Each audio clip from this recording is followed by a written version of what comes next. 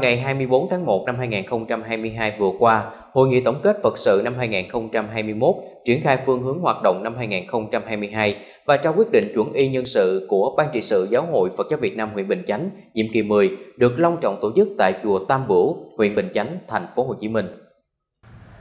Quan Lâm chứng minh buổi lễ có sự hiện diện của chư tôn hòa thượng đồng chứng minh Ban trị sự Giáo hội Phật giáo Việt Nam huyện Bình Chánh, Thượng tọa Thích Thiện Quý, Ủy viên Hội đồng trị sự, Phó trưởng ban kiêm chánh thư ký Ban trị sự Phật giáo thành phố. Thượng tọa Thích Quang Thạnh, Ủy viên Hội đồng trị sự, Phó thư ký kiêm chánh văn phòng Ban trị sự Phật giáo thành phố. Thượng tọa Thích Trung Nguyện, Ủy viên Hội đồng trị sự, Phó chánh thư ký Ban trị sự Giáo hội Phật giáo Việt Nam thành phố Hồ Chí Minh. Thượng tọa Thích Huệ Minh, Ủy viên Ban trị sự Giáo hội Phật giáo Việt Nam thành phố Hồ Chí Minh, trưởng Ban trị sự Giáo hội Phật giáo Việt Nam huyện Bình Chánh, và cùng sự hiện diện của chư tôn đức tăng ni trụ trì các tự viện là thành viên ban thường trực giáo hội Phật giáo Việt Nam trên địa bàn huyện. Hội nghị còn có sự tham dự của đại diện chính quyền, lãnh đạo các ban ngành huyện Bình Chánh. Năm 2021, Ban trị sự Giáo hội Phật giáo Việt Nam huyện Bình Chánh đã tổ chức thành công Đại hội đại biểu Phật giáo huyện Bình Chánh lần thứ 10, nhiệm kỳ 2021-2026. Toàn huyện hiện có 130 ngôi tự viện, 162 chư tăng, 260 chư ni. Do ảnh hưởng của dịch Covid-19 nên các hoạt động hướng dẫn Phật tử tu tập chủ yếu qua hình thức trực tuyến online nhằm tạo sự động viên và tham vấn tâm lý, giúp cho tín đồ Phật tử an tâm trong việc tu học của mình.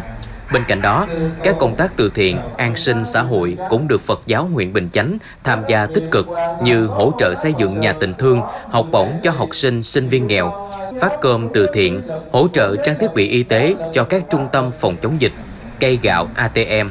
Tổng kinh phí từ thiện trong năm vừa qua đạt hơn 37 tỷ đồng.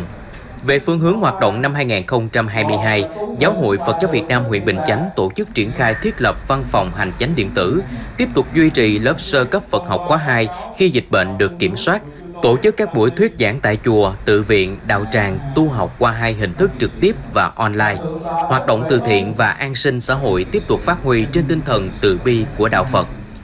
Để ghi nhận những đóng góp của Phật giáo huyện Bình Chánh, Thượng tọa Thích Quang Thạnh đã thay mặt Giáo hội Phật giáo Việt Nam thành phố Hồ Chí Minh trao bằng tuyên dương công đức, giấy khen cho các tập thể cá nhân có nhiều đóng góp trong công tác Phật sự năm 2021 Tiếp đến, Thượng tọa Thích Trung Nguyện đã thay mặt hội nghị đọc công bố quyết định chuẩn y thành phần nhân sự Ban trị sự Giáo hội Phật giáo Việt Nam huyện Bình Chánh. Tại hội nghị, đại diện chính quyền phát biểu, bà Hứa Thị Phương Hồng, Phó Chủ tịch Thường trực Ủy ban Mặt trận Tổ quốc Việt Nam huyện Bình Chánh đã ghi nhận và cảm ơn sự đóng góp tích cực của Phật giáo huyện nhà, cũng như tinh thần phụng sự đạo Pháp và luôn đồng hành cùng dân tộc của Giáo hội Phật giáo Việt Nam huyện Bình Chánh trong năm qua nhằm sách tấn động viên tinh thần của Ban trị sự Giáo hội Phật giáo Việt Nam huyện Bình Chánh, Thượng tọa Thích Thiện Quý đã có những lời đạo từ sâu sắc gửi đến hội nghị. Cũng trong dịp này, Giáo hội Phật giáo Việt Nam huyện Bình Chánh đã trao tặng số tiền 50 triệu đồng vào quỹ vì người nghèo.